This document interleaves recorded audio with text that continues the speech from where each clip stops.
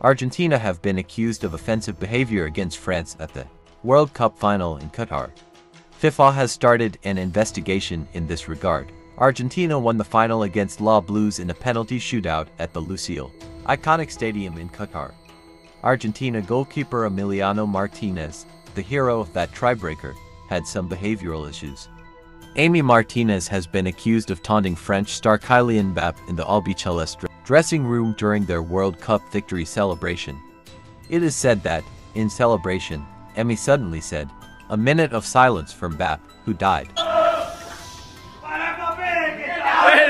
It does not end here.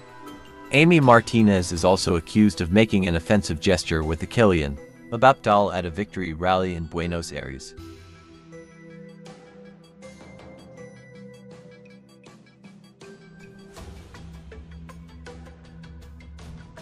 FIFA said in an official statement that the FIFA Disciplinary Committee has opened an investigation against the Argentine Football Association for possible violations of certain codes of conduct. Violations of Article 11 offensive conduct and breach of fair play principles and Article 12. Article 12 misconduct by players and officials of the FIFA Code of Conduct will be investigated.